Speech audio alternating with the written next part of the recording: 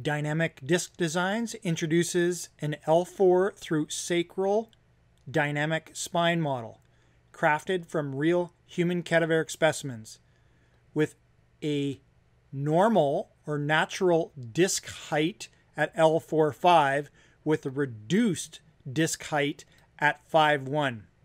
Demonstrate the dynamic difference between each motion segment.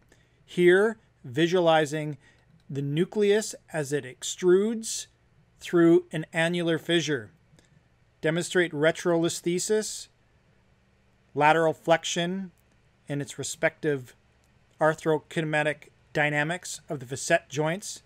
Demonstrate shear translation as it relates to pain triggers and rotation. Here you can see the L4-5 facets with more mobility.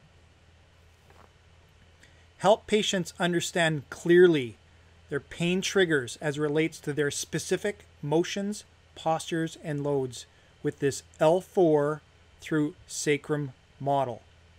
Here you can see that flexion load will extrude the nucleus more readily, while neutral loading or stacking will contain the nucleus anteriorly.